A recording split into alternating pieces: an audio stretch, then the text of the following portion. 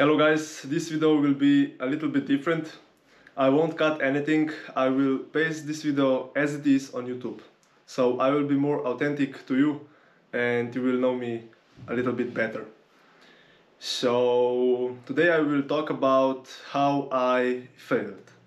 Even though I am on self-improvement journey, even though I am self-improvement YouTuber, I still have mistakes, I still I still am able to fail and it happens. It happened to me and it will happen maybe probably even more times even though you know I'm teaching about this stuff on the internet and I'm trying to be as good as I can on this journey.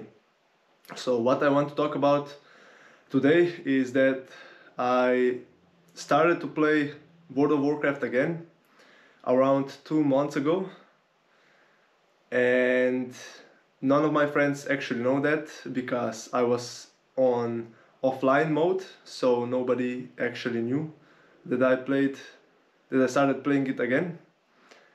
And few days ago I stopped playing it again. And I'm making this video as the reminder for me to stop playing video games forever.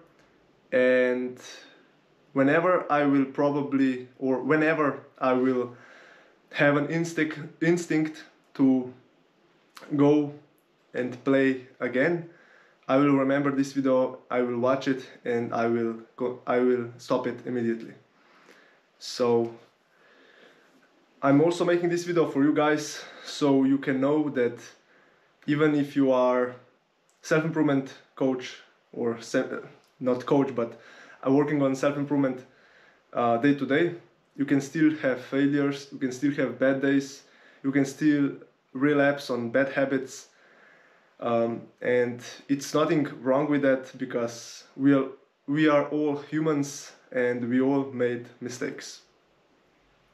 So this video is the reminder for for me and you that we are just humans and we make mistakes. And also the reminder for me to not going back to video games. So that's it for this video.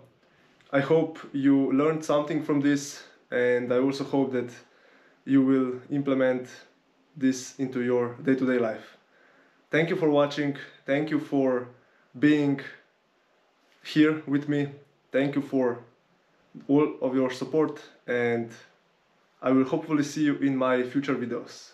Bye.